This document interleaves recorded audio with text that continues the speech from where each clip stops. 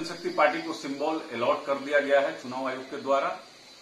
Helicopter symbol दिया गया है और लोक जनशक्ति पार्टी नाम के आगे रामविलास पासवान के भी नाम की इजाज़त मिल गई है। लोक जनशक्ति पार्टी को लेकर के बड़ी खबर आ रही है, चुनाव आयोग ने आखिरकार नाम जो है वो तय कर लिया है। चिराग पासवान के गुट का नाम जो है लोक जनशक्ति पार्टी रामविलास तय किया गया है और साथ में सिंबल की बात करें तो चिराग पासवान को हेलीकॉप्टर जो है वो चुनाव आयोग की तरफ़ से सिंबल दिया गया है। बीते दिनों जिस तरीके से बंगला विवाद हुआ था, उसके बाद से इलेक्शन कमीशन ने बंगले को फ्रीज कर दिया था और कहा था कि जब तक लोक जनशक्ति पार्टी में दो फाड़ है ऐसे में बंगले का इस्तेमाल दोनों में से कोई नहीं कर सकते हैं। ऐसे में लोक जनशक्ति पार्टी रामविलास को, यानी कि चिराग गुट को हेलीकॉप्टर छाप जो है, वो इलेक्शन कमीशन ने आवंटित कर दिया है।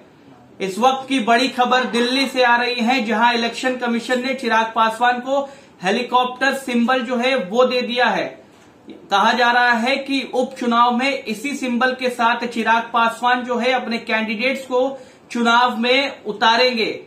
दिल्ली से यह खबर आ रही है। बीते कल से ही कहा जा रहा था कि इलेक्शन कमीशन किसी वक्त भी चिराग पासवान की गुट को लेकर के एक नया नाम और एक नया सिंबल दे सकता है और तमाम जो कयास लगाए जा रहे थे कि टॉर्च मिलेगा गैस सिलेंडर मिलेगा, इन तमाम चीज़ों पर अंकुश लग गया है और फाइनल कर दिया गया है कि चिराग पासवान का सिंबल जो है, वो हेलीकॉप्टर होगा। दिल्ली से यह खबर आ रही है। उसके बाद से आपको बता दें कि आज ही हो सकता है कि लोक जनशक्ति पार्टी चिराग गुट की तरफ़ से कैंडिडेट्स के नाम का भी ऐलान कर दिया जाए।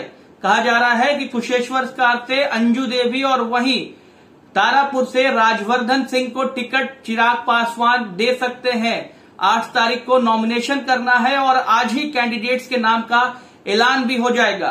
तो कुल मिलाकर खबर यही है कि चिराग पासवान के गुट का नाम रख दिया गया है इलेक्शन कमीशन के द्वारा।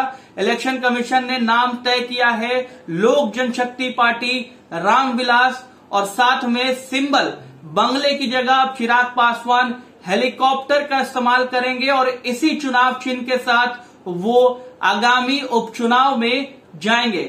और क्या कुछ खबर आएगी चिराग पासवान और लोक जनशक्ति पार्टी की तरफ़ से? उन तमाम खबरों को हम आप तक पहुंचाते रहेंगे। अगर आपने हमारे चैनल को अब तक सब्सक्राइब नहीं किया है तो जल्दी सब्सक्राइब कर ले ताकि तमाम छोटी बड़ी खबरें आप तक सबसे जल्दी पहुँच सके। लोक जनशक्ति पार्टी को सिंबल अलॉट कर दिया गया है चुनाव आयोग के द्वारा।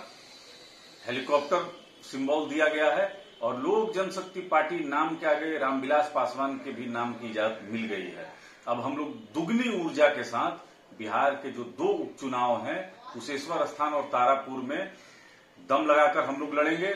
और बिहार के माननीय मुख्यमंत्री जी और भारत सरकार के केंद्रीय मंत्री ने जिस तरीके से कुचक्र को रचा था कि इस चुनाव में एक साजिशन हम लोग के सिंबल को फ्रिज कराया गया।